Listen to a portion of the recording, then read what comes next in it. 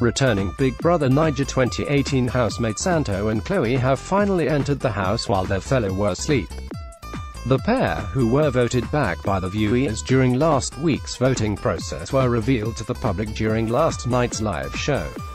Anto and Khloe have successfully snuck back into the Big Brother Naija house and immediately headed to the luxury bedroom, head of house bedroom.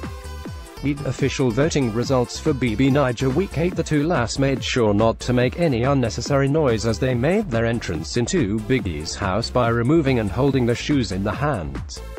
Check out more photos below, it's sure going to be an interesting morning when the rest of the housemates realize that Khloe and Anto are back into the house. So how do you think the housemates will respond? To get the latest news and Big Brother Naija Nigeria 2018 updates, kindly subscribe to receive email updates from www.bigbrothernaija.net. Like us on Facebook, facebook.com slash